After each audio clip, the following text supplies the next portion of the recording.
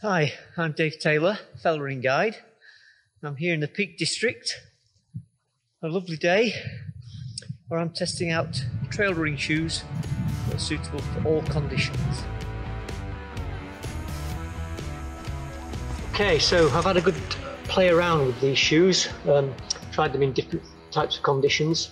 I've got a bit of a better idea as to who they might suit uh, what type of runner and what sort of conditions. Starting off with the, the, the more heavily cushioned shoes, looking at the Altra Timp, really comfortable underfoot, um, lots of cushioning there.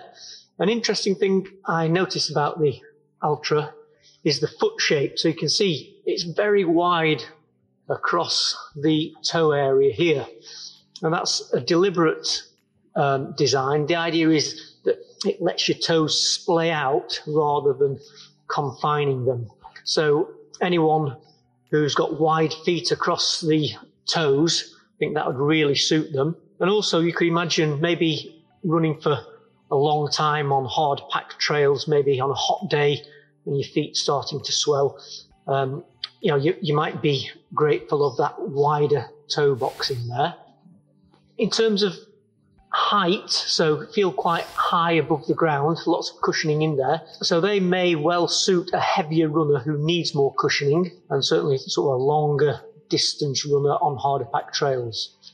Grip wise, well, they're fine on drier conditions. Um, found them a little bit, maybe a bit sketchy on very muddy terrain, um, and I wouldn't really like to do much uh, wet grass running on those. They're a, a zero drop shoe, as we said before, so anyone who likes that that zero, um, no sort of toe to heel differential might suit those. That's your Altra Timp 2. Similarly, in a way with the, the Hokas, again, we've got a big cushion there, very comfortable underfoot. The difference being with these is you can see comparing the, the toe area, that the Hokas are kind of much more pointed across the toes, whereas the Altras are wider.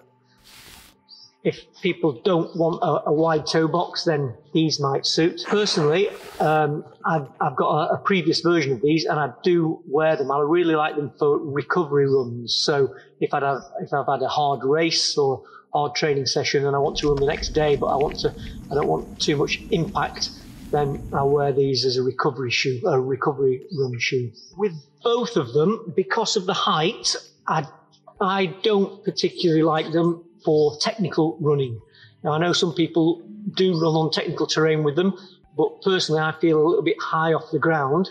Um, so I wouldn't want to be trying to run quickly on technical rocky trails with these. Um, that, that's just my preference. But certainly the the Hokas I really like them as a, a recovery run shoe. So that's the, the more cushioned shoes. If we have a look at the Sense Ride, as I said before, you've, you've got a, quite a, a, bit of cushioning in there. And I think these are just a, a good all-round shoe, but again, a bit more suited to drier trails. There's not a great deal of lug depth there for running on um, muddy conditions. Um, but certainly a decent bit of cushioning and um, you know a comfortable shoe for me. So yeah, bit of a, a decent all rounder there. Moving on, looking at the Inov-8 Roclite G275. This is the um, the lightest of all the shoes, only just it's 275 grams as the name implies. What I did like about this there's, there's not a great deal of cushioning in it, but I don't need a great deal of cushioning personally because I don't weigh very much. What, what I did like is the the the lugs, the the, the lug depth on there. Um, so you're quite low to the ground, and you've got a good grip in a lot of conditions, a lot a lot of different types of terrain there. Feel a bit more comfortable on muddy or even sort of steep grass. So that's what I would like about the Roclite. In terms of the Sportiva, La Sportiva, the Kaptiva, probably, well, of all the shoes, second in terms of um, aggressiveness of sole, but it would be equally suited to hard ground. So a mix of muddy, wet conditions and harder packed ground. Probably out of all of them, this feels the more racy of, of the shoes, if you like. So um, not a great heel to toe differential.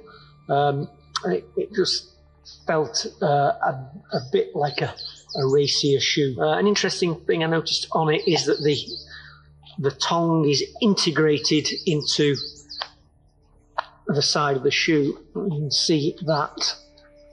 Um, and what that actually means is it's a, it's good protection for against getting stones down into your shoes. So uh, in you know in between your, your shoe and your sock. So that would be good on, on loose rocky terrain where stones are flying all over the place. I would say that's really well suited to maybe fast running on technical ground. Then we've got the the Dynafit, the Alpine Pro. Felt felt quite snug to me, but as I've said before, um, fit is kind of subjective.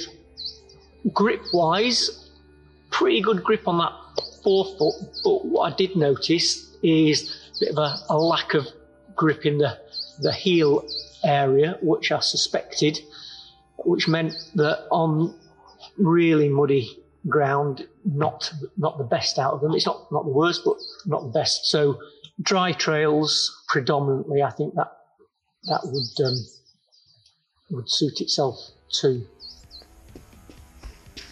So we've got a bit of everything with all those. If I had to choose only one pair of these shoes, I would go with the Inov-8 Roclite G275.